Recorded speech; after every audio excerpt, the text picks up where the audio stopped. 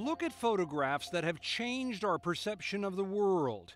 The unleashed power of nuclear weapons, a migrant family caught in the Dust Bowl, a single Afghan refugee who seemed to be the face of millions. She was found again by the photographer 17 years after his shutter clicked. She had never been photographed before that and has never been photographed since.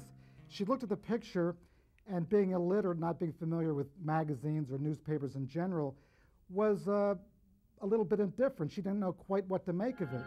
In 1930, long after the worst days of lynchings, this photo from Indiana spurred an uproar as proof that brutal racism was not a thing of the past.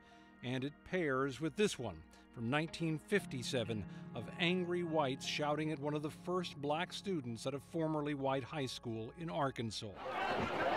Protests have produced some of the most enduring images. In 1989, after a massacre by Chinese troops in Tiananmen Square, one man squared off against a line of tanks. His identity has never been known, his brave stand never forgotten. Pictures of war have had immense impact from the birth of photography. The Civil War, World War I, World War II.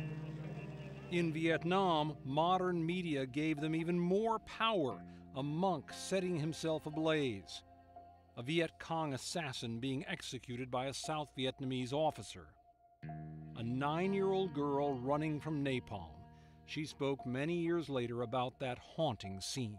It's my message to people when they see that picture. Try not to see her as crying out in pain, in fear, and try not to see her as a symbol of war, but try to see her as a symbol for peace.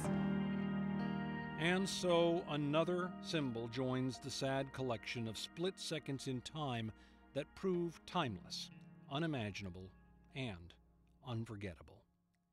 Tom Foreman, CNN, Washington.